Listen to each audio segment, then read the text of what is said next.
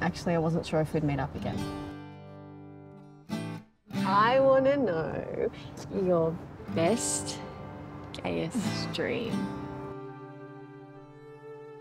You know, could have just asked if you wanted to hold my hand. We always keep coming out, don't we? Last thing I want to know. Can I kiss you?